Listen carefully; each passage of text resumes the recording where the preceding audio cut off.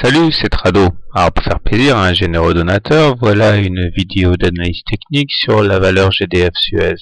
GDF Suez, il n'y a pas de miracle, est aussi malmené que le CAC. Et on peut voir sur ce graphe hebdomadaire que les choses euh, s'accélèrent à la baisse. Chaque bougie correspond à une semaine de cotation.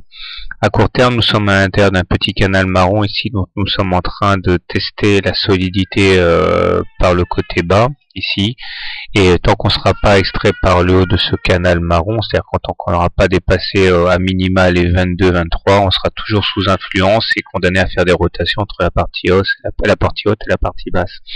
Nous sommes également dans une fourchette d'Andrews bleue dont la médiane ici a été ralliée euh, semaine dernière. Et puisqu'on est passé de l'autre côté du miroir, puisqu'on est passé dans la partie basse de la fourchette d'Andrews, on est maintenant en train d'assister à des rotations entre la médiane et la partie basse de cette fourchette d'Andrews. Il en sera ainsi tant qu'on n'aura pas repassé à la hausse la médiane. Si on repasse à la hausse la médiane, eh bien ce sera entre la médiane et la partie haute qu'on fera des rotations. Les indicateurs techniques sont très mal orientés puisque la M7 et la M20 sont décroissantes et donc au-dessus des cours aussi, ce qui implique que nous sommes en tendance baissière. Les indicateurs techniques sont sans ambiguïté, MACD négatif sous son signal, momentum négatif, stochastique en zone de survente, pas de doute, la tendance est fortement baissière. Comme si cela ne suffisait pas, nous sommes en phase 4 de Weinstein. Alors je vous rappelle hein, qu'il y a une vidéo euh, tutoriel sur ça. Euh, bon, clairement, voici la M30, la moyenne mobile à 30 semaines. Vous voyez qu'elle est soit croissante en bleu, soit décroissante en rose. Lorsqu'elle est décroissante, que les cours sont en dessous, comme c'est le cas actuellement, et que nous avons cassé un support majeur de référence ici que j'ai signalé avec le segment bleu, on est en phase 4. D'ailleurs, le, le throwback, c'est le contrat du pullback a été fait, hein, semaine euh, du 27 juin au 4 juillet. On a bien testé euh, le support qu'on avait cassé à la baisse on a encore une fois donc échoué à le passer à la hausse, donc ça valide le passage en phase 4. Dans cette phase 4, selon Weinstein, cette valeur n'est pas bonne à être mise en portefeuille. Euh, on va, la tendance est clairement baissière et les soldes hein, euh, sont, sont à l'ordre du jour.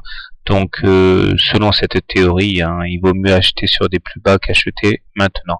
Malheureusement, on est dans cette phase 4. Euh, que dire d'autre? Bah, Pas grand chose, si ce n'est qu'on a également fait un T2 hebdomadaire. La semaine n'est pas finie, mais on est parti pour en faire un. C'est une deuxième clôture à l'extérieur de la Bollinger inférieure. C'est signe d'augmentation. Pardon. C'est signe d'augmentation de la volatilité et en, en l'occurrence ici de volatilité avec implication baissière. Les excès sont donc permis. Donc euh, méfiance sur le titre. Si vous l'avez déjà en portefeuille, pas sûr qu'il soit temps d'en sortir. Enfin autrement dit, euh, hmm, disons qu'il est, un peu trop tard pour sortir.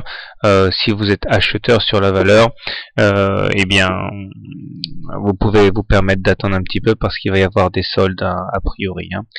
Un petit détour du côté du journalier pour ceux qui veulent suivre la valeur à très très court terme.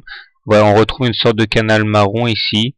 Euh, nous avons la M7 qui capte les cours. À chaque fois qu'on est venu titiller cette M7, on a replongé. Hein. Ça s'est vu euh, aujourd'hui, ça s'est vu aussi 8 août et 4 euh, août.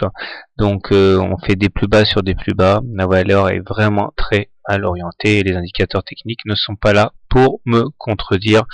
bref, la valeur est à la rue. Voilà, bonne journée, bon trade et à demain.